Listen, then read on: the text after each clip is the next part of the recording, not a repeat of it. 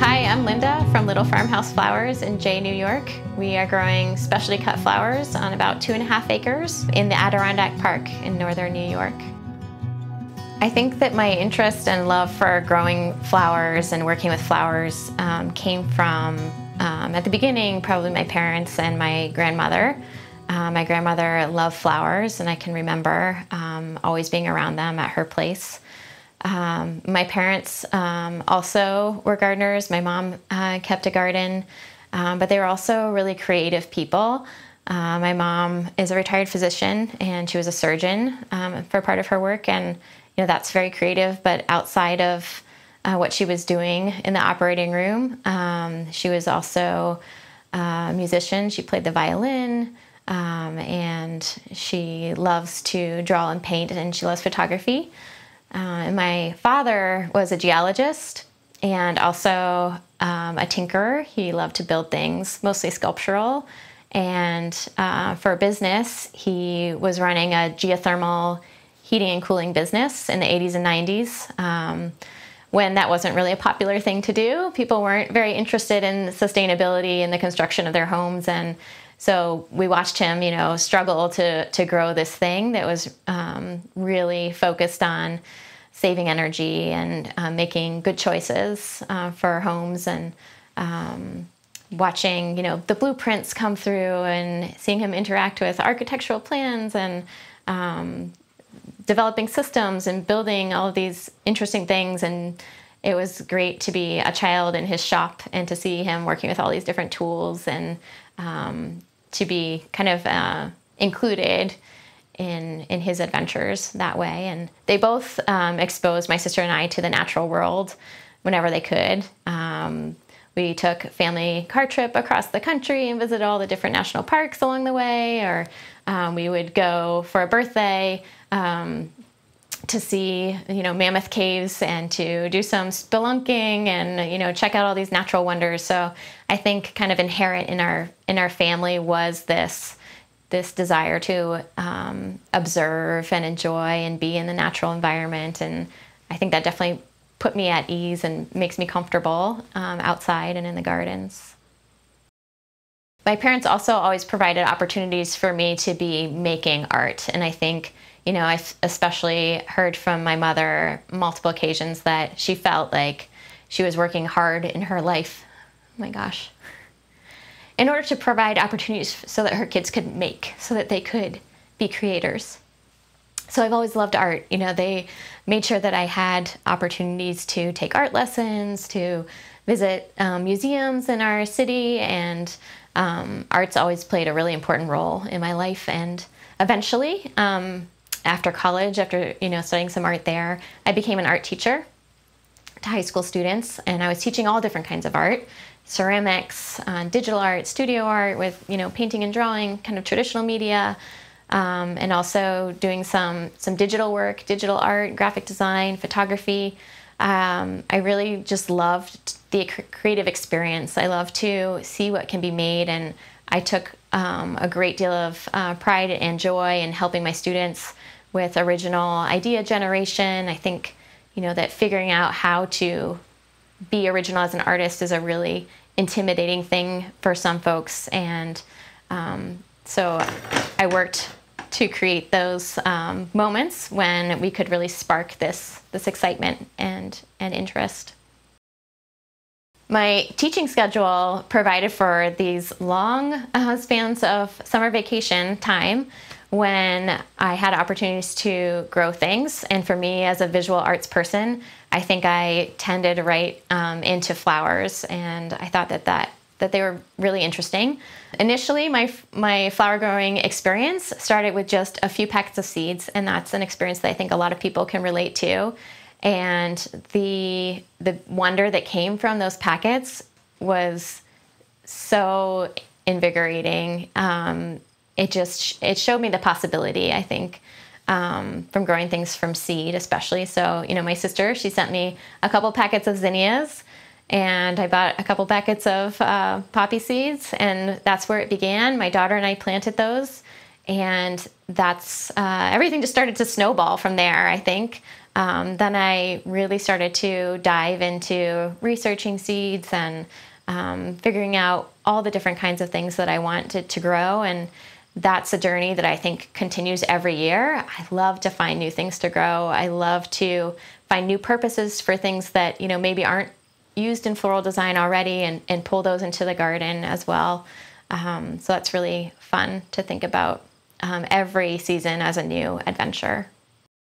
During one school year, I started to just really get into um, thinking about the possibilities of having a flower farm. I think I was inspired by a lot of the different people who are or have been growing for a long time um, in this um, small cut flower farming industry.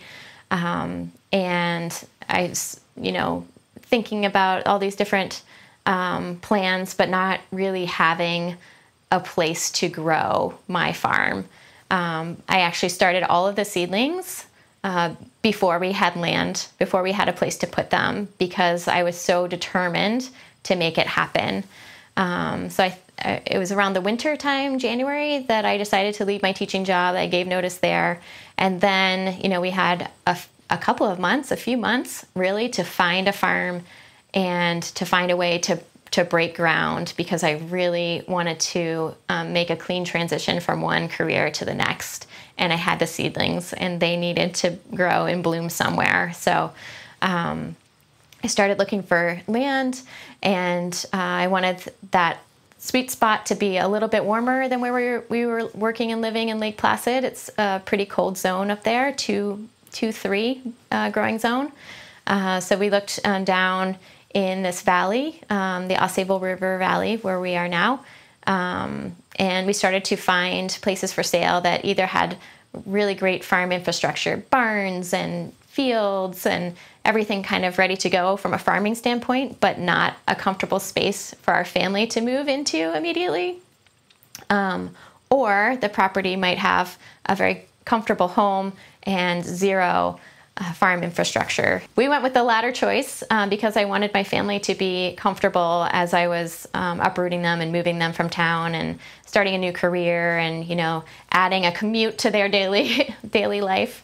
Um, so when we came here, we had uh, a home, but a lot of sod, uh, a really big yard. Basically, it's about two and a half acres um, of grass and weedy meadow um, that has um, been turning is turning into the flower farm that I'd love it to be.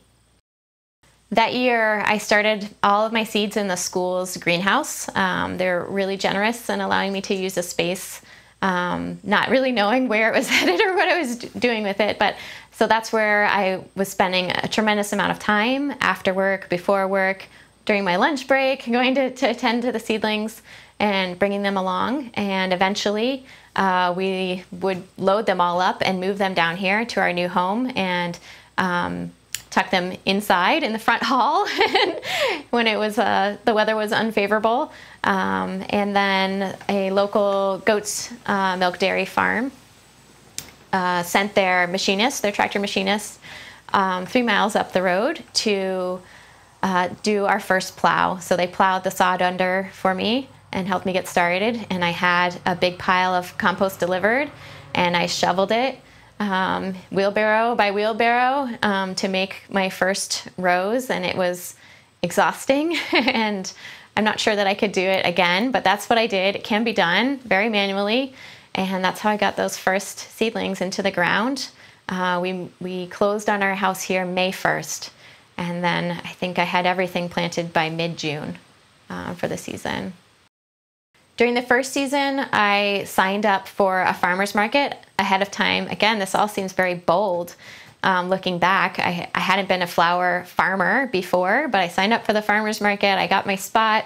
I was determined to do it, um, and I started uh, to sell my flowers there. And initially, in the very first few markets, um, I relied kind of heavily on my friends in the community to help me get started. Um, one of my friends in Lake Placid um, had a huge meadow of lupin, and she let me come there and pick from it in order to um, have something to take to market. Those very first ones where I didn't have flowers blooming yet, but it didn't take long for the annuals to come in. um, and to, to really start to build a name for my business and, and get things going at that um, first farmer's market.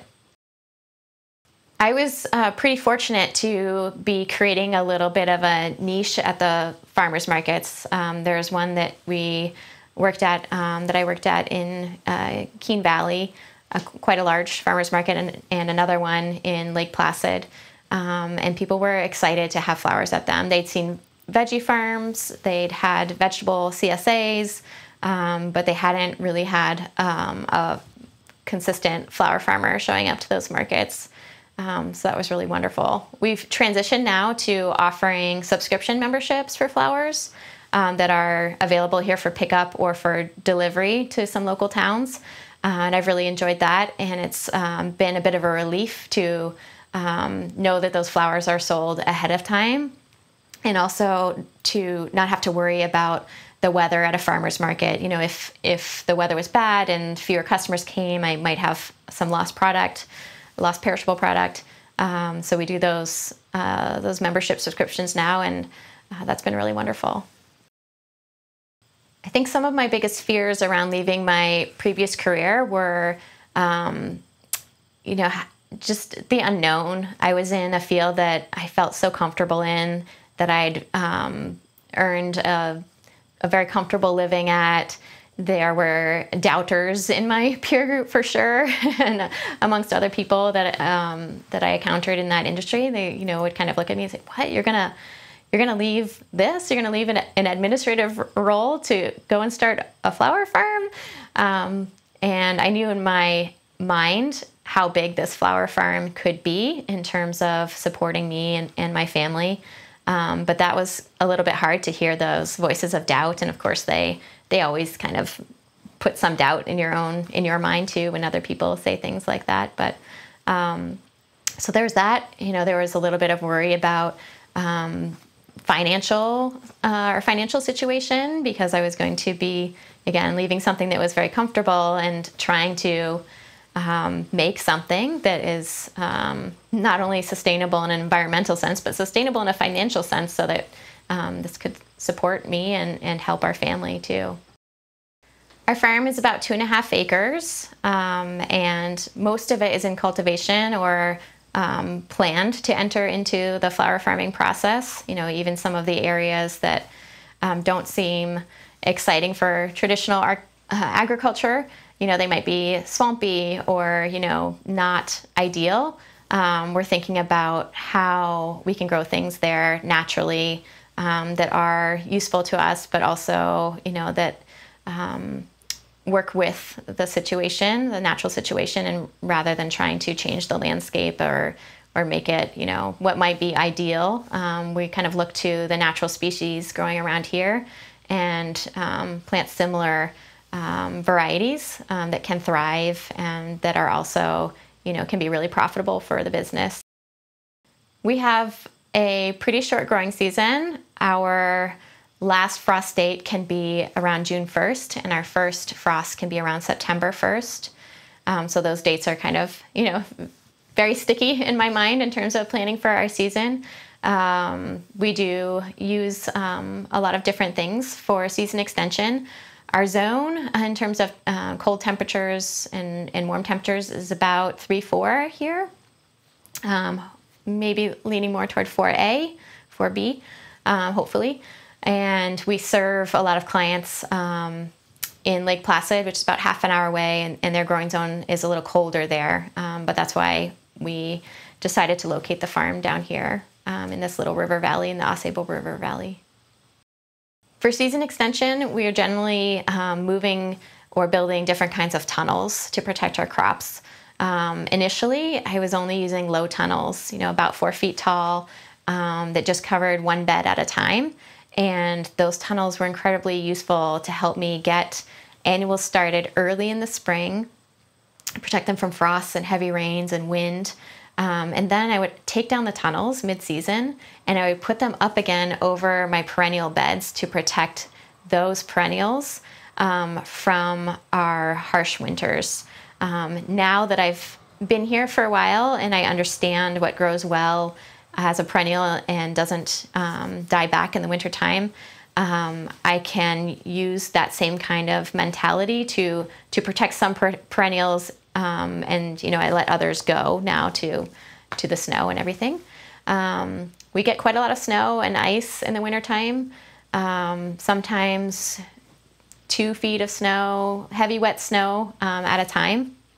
Um, it's kind of you know, a greenhouse owner's nightmare in some respects, but um, the tunnels that we're purchasing now from Farmer's Friend have a Gothic profile and the snow sheds off them beautifully. So that's been really uh, a huge relief not to have to worry about those, you know, overnight. Um, or, you know, if we want to go away for a short period of time in the winter, it's a nice time to relax if you're a farmer, flower farmer.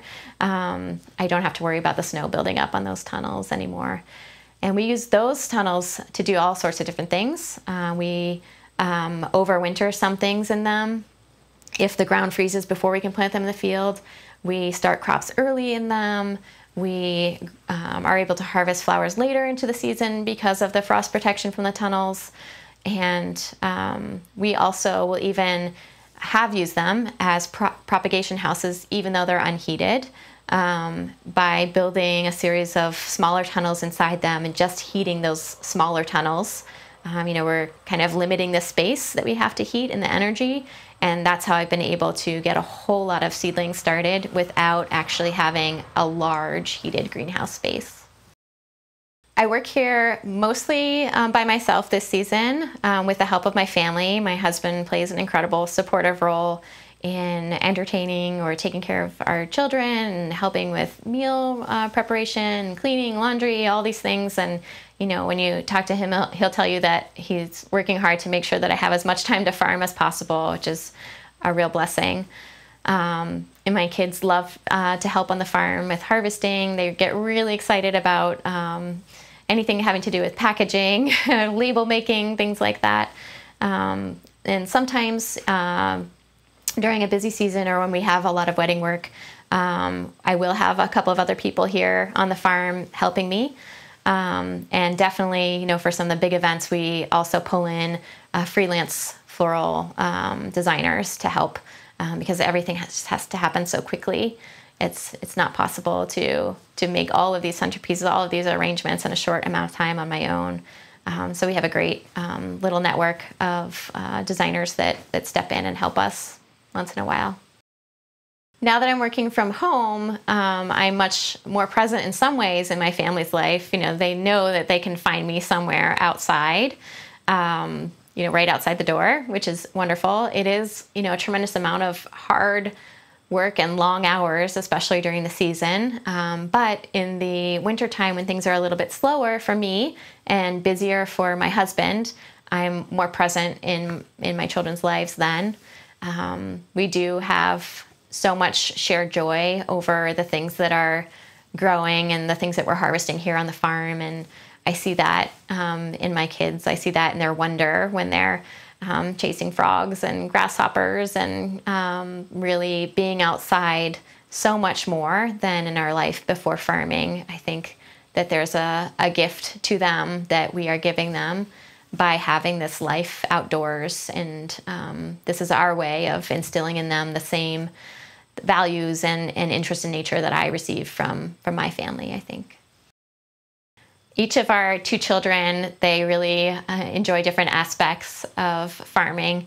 Uh, for my son, uh, harvesting things like ornamental pumpkins that are they they seem more tangible, I think, to him. That's that's his thing. He loves to be the pumpkin guy, and he's um, really excited about uh, getting together with me and about our time um, collecting pumpkins and counting them and sorting them. And um, I don't know, his his face lights up when when we're pumpkin hunting in the pumpkin patch. Uh, and my daughter, you know, she is just so helpful. She just wants to lend a hand, especially when she sees that things are getting busy. Um, you know, she'll just say, "How can I help, mom? How can I help?" and and I'm I'm really blessed to have them here and to have them involved in my business and to I think to to let them see, you know, this whole process. You know, they've really grown up with me um, figuring this out and starting a business and and growing it into something that you know we're all really proud of, and um, that's exciting. We grow a wide variety of flowers and greens here on the farm. Um, one of the things that's most interesting to me is to kind of um, figure out which things are going to be happiest growing here and kind of lean more into those varieties. But um, a whole bunch of different things. Um, sunflowers, dahlias, um, those are really exciting right now. Lilies, uh, tulips are an important crop for us um, and a whole host of different kinds of perennials that are really happy here peonies, lupin, um, globe thistle, sea holly. Um, I'm kind of looking out the studio window here at the different things, um, different kinds of rudbeckia. Um, and we have some specialty items that we are growing undercover, um, like garden roses and heirloom chrysanthemums things like that. Living and farming here creates an incredible um, challenge sometimes. The, the weather can be brutal, um, the short season can be really challenging. I think it's important to me to find ways to make this business work year round. And that's something that's that's important. It's um, it might mean drying flowers so that we can provide different kinds of products in the fall, like wreaths or dried floral bouquets, um, transitioning into holiday work um, with evergreens and wreaths and garlands, things like that. Um, and then also figuring out really the art and science behind uh, forcing bulbs. Um, so for me, those are mostly uh, tulips and lilies. Uh, tulips are a really um, interesting crop uh, we have tulips blooming from the end of December all the way through June um, in a variety of successions. And um, that's a, a, really exciting um, journey, um, figuring out how to how to encourage them to bloom over such a long period of time. The winters can be pretty bleak here in the northern Adirondacks um, lots of snow, lots of gray days, hardly any color. So being able to bring tulips um, to customers in January and February and do it sustainably and responsibly is really um, wonderful. Our flowers find their way into customers' hands a few different ways. Um, a local independent grocery store uh, sells them uh, weekly. So we have a weekly delivery there, a whole bunch of bouquets, and that's wonderful. Uh, we sell them through a subscription membership in six week seg- segments of weekly flower arrangements or bouquets uh, for pickup here at the farm or for delivery to the local towns. Um, we have experimented with some shipping um, earlier in the season to help move some of our uh, hardy spring uh, flowers, ranunculus and anemones and tulips um, and then we also do a lot of wedding work. Um, this area is so full of natural beauty, it kind of lends itself to destination wedding events. And there's a big market for that kind of work, um, design work, um, all in all the towns around us, surrounding us. So um, primarily, our income from the flower farm is also coming through a design stream. So the, we're growing the flowers as farmers, and we're working with them also as florists. Um, and a big portion of my work year round, um, but especially in the winter, is working to earn those wedding jobs, to write proposals, um, and to create plans for our clients that will um, share with them the possibilities of local flowers. We are living in a Pinterest world, and oftentimes people will come to us with a, a preconceived understanding of what wedding flowers are or, or what they can be. And it's really um, interesting to show them what's possible here. Um, you know, some some folks are a little bit concerned. You know, I know you're growing the Adirondacks. They might say it's it's seems uh, challenging or I don't know what you might have. Um, but the truth is, we have a great deal available um, almost year round here in terms of flowers. Um, so, yeah, so so sharing that message and and getting the word out that local flowers, even here, are possible and beautiful um, is is a big part of my work. Sometimes in the winter, it can be difficult to communicate to a client what their summer wedding flowers are going to look like. So I put together an extensive um, proposal document that has lots of images of the flowers that I'm going to be growing for them. This is often a, a curated process of planning flower beds and selecting varieties specifically for events that will be happening in the future, months and sometimes even a year or two out. Um, so lots of pictures. And I also do some illustration, and, and my background in the arts um, comes into play in my business in that way too um, because I can't provide a floral mock up or an, a sample of how an arrangement um, would look as a selling point. You know, this is something a conventional florist might do any time of year um, buy in flowers from somewhere in the world where they're in bloom, create a sample. Um, to photograph or to show to a client. It's just not possible when I am committed to only using local flowers. Um, so I'll actually do some illustration. I'll do some drawing for them. Um, and right now I'm doing most of that digitally, which makes things a little bit easier and faster. But um, when I started, it was all um, pen and paper and, and watercolor. And um, I love that I'm also creating this very personalized process for them. Um, you know, this is this is a piece of my my heart and mind goes into each of these documents. Um, and I think, you know, I see um, from the customer's perspective, my investment in um, their journey of planning this event um, is very real. In terms of farming, some of the biggest challenges I think um, are similar for farmers anywhere. There, there's pest pressure, there's weed pressure. Um, the bugs and the weeds might be different depending on where you're growing in the country, but those are kind of common challenges, and as well as climate challenges. Um, cold and frost are are really tough here.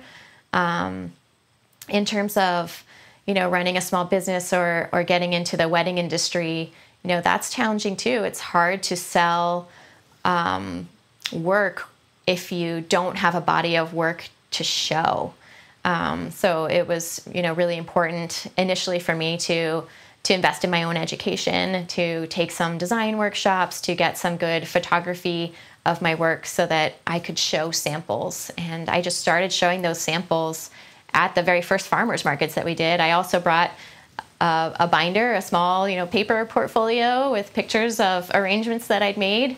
Um, and some of our very first uh, wedding jobs came from just being able to show that. So um, the value of you know good photography of of capturing and documenting your work uh, is uh, very important to the design world here. Operating a small farm and a floral design business um, together at the same time as a, sometimes a one woman show is very challenging. So I'm I'm often thinking about how I can be more efficient um, that's kind of a, a stream that's always running through my mind. Like, how can I do this easier, more efficiently, faster, um, better, basically? Um, so, there are some things that we do here that help out a lot with that. And sometimes it's a very simple tool. Um, I use the bulb crates that our tulips come in for growing lots of plants. Um, that makes the whole plant or plants portable. I can just lift them up and I can move them into shelter or into a tunnel if they were growing outside, or vice versa. Um, I can move them, you know, into our cellar and under grow lights if I need to, you know, bring them inside. Recently, I've transitioned from using a propane torch to burn holes in our reusable landscape fabric, that's our weed barrier, um, to using this electric tool, um, which uh, is a calf dehorner. Um, but it uh, it heats up and it's the perfect um, circumference hole to to melt holes through the landscape fabric very quickly and cleanly. So there's no over melting. The holes don't get too large. Um, we also don't have to go out and buy propane um, all the time. It's a really useful um, tool that's you know we're using it in, in a way that's not intended, but it's helpful to us. Um, I'm thinking also about how we design spaces and how um, everything um, in my studio can be used in different ways. How to make it transition in the summertime from a design space to a um, cold storage space where we can root the tulip bulbs and they can get established before we pull them into a growing uh, space. How we can transition from the shelves holding vessels for weddings to hanging grow lights for starting the seedlings. All of these different um, ways to make use of, of what we have and do it efficiently um, help things run smoothly here. This season, we invested in a Pyroweeder from Farmer's Friend, um, which we think um, is going to substantially help us mitigate the weed pressure on our plants. Uh, we're we are surrounded um, by two open meadows of naturally occurring weeds, and their seeds just blow in constantly. They're, my enemies are constantly, you know, blowing through the fence, over the fence, um, into the gardens. So the weed fabric helps some with that, but there's still so much weed pressure. And with the Pyroweeder, um, we can prepare a bed, um, you know, add our compost and our amendments, get everything ready, have it all, you know, nice um, tilled and, and fluffy, and um, walk this four foot wide Pyroweeder down the bed, you know, um, and burn off all of those weed seeds. So we've used it a few times already, and we're really excited to make it a part of our um, our everyday practice in terms of bed prep. Um, to really, you know, help us be more efficient in the amount of time that we're spending weeding every season. This is like, this is very exciting. The things that make this work really exciting and fulfilling for me are that every day is different. Some days I'm going to be completely filthy dirty from head to toe, sweaty, been moving compost and transplanting or seeding things. And um, right when I start to get kind of exhausted from that mode, my life will change and I'll be working more on the design side. Or I can kind of take a pause from that and come in and do some photography or work on a wedding proposal or, or be polished up and delivering flowers and installing them at a beautiful event um, in town. So it doesn't get boring at all because I have this um, this wonderful cycle of all these different things that happen, and of course that changes throughout the year. Um, but that's what keeps the work um, interesting to me for sure. Outside of farming, spending time with my family is a really important um, aspect of my life, and fortunately, um, you know, a lot of my children's activities are taking place during the school year when things are a little bit less busy here. Um, my daughter's an avid dancer, and my son's creative outlet is through soccer, and he's really um, very creative, actually, um, in that sport too. So, during the school year, I'll spend a lot of time taking my daughter to and from her dance lessons, um, spending time with her as she prepares for her performances, going to performances. Um, those are kind of the special uh, mother daughter moments that we share. Um, wow, my um, husband and my son are, are really working on his interest in soccer um, outside of school. As a person who is interested in the visual arts, this is really my way that I found to be making, um, be designing, and to be earning a living at the same time um, this is what works for me. I have an innate need to to tinker, to create, to build things.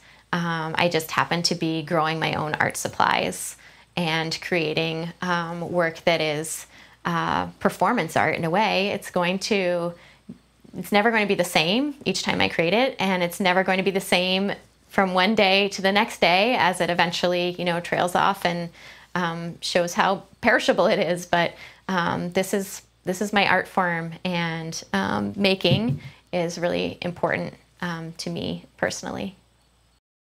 For anyone who's thinking about starting a farm or or becoming a flower farmer, especially, my biggest piece of advice is to just start.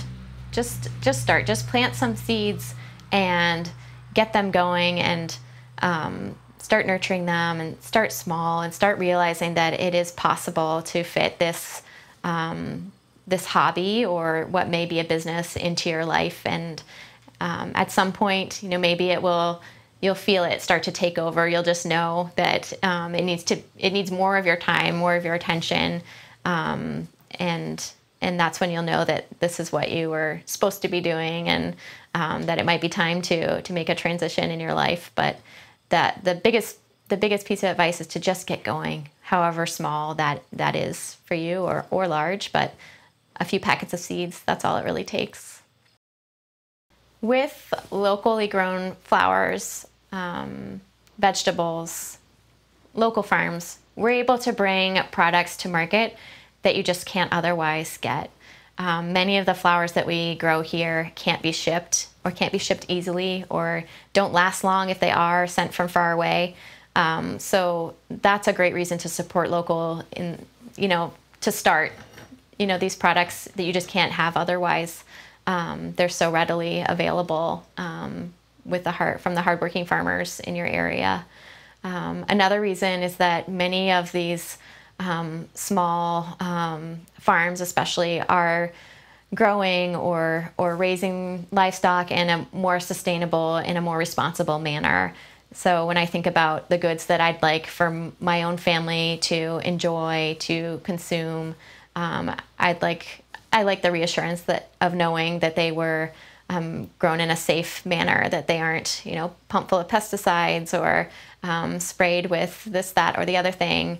Um, there's so many important important reasons, and of course, you know, um, we're thinking about how we are also as as farmers, um, as people who grow crops, um, contributing to um, our uh, our local environment here, how we are supporting um, our pollinators and creating a, a, a space that is, you know, is green and that is is giving back to nature, hopefully, as as much as we are uh, benefiting from it.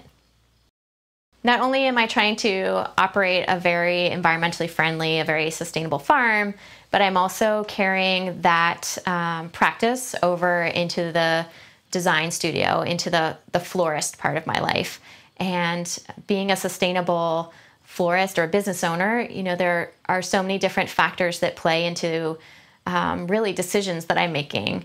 Um, you know, it, it, will determine what type of uh, vehicle I buy. If I need to replace my delivery van, I'm going to try to make a, a, more sustainable choice in terms of, you know, how we're getting flowers out into the world. Um, it also informs how we design with flowers, how we work with them, the materials that we choose to use or not use. Um, you know, right now we are working without any sort of floral foam, and this is a commitment that we've made for several years now um, because this material, floral foam, um, you know, it it breaks down into microplastics, and it's really horrible for the environment. And we know um, now from specific research that um, those microplastics are ingested by small organisms, and they work their way back up through the ecosystem, eventually into the food that we eat um, ourselves. So um, I think, you know, sustainably um, designed floral work is really important. Um, it's certainly a cornerstone of what we do here, and it's a part of the education that we provide to the consumer when they come to us as well. You know, most customers are uninformed about um, the things that may be actually going into their flower, their flower designs. Um, you know, at first thought, you know, maybe they're thinking there might be, there could be pesticides on on flowers. Maybe they won't even be thinking about that, honestly, because it's not something that they're eating or consuming. Um, but they certainly often aren't thinking about um, how uh, floral installations are made. You know, th- those are sort of behind the scenes things. And so these commitments that, that we're making um, to um, be more sustainable, to hide water vessels inside our installations instead of using flower foam, those are sort of behind the scenes um, commitments. They're so important, um, but they're not things that people would necessarily see or ask for. And it's part of our job to to share that information and to put it out there and to help people know um, that the decisions that they make um, in terms of even floral work um, really have an impact um, down the line on our environment too. Last winter, um, I became one of the founding ambassadors for the Sustainable Floristry Network, and this is a group of um, a small group of florists um, all over the world who are committed to working sustainably. Um, we don't use flower foam. We um, are trying to use our own or locally sourced flowers. Um, we're being really thoughtful about all these different decisions. And together, we're all committed to providing education um, and to sharing this message and to helping other uh, florists come on board. So it is grounded in research that our founders um, helped to propel from a university in Australia and the momentum is just picking up and, and growing and it's um, it's really fun to to see this this new project come together and to be working with people all over the world who are passionate about making uh, floristry more sustainable, making it healthier and safer for everyone.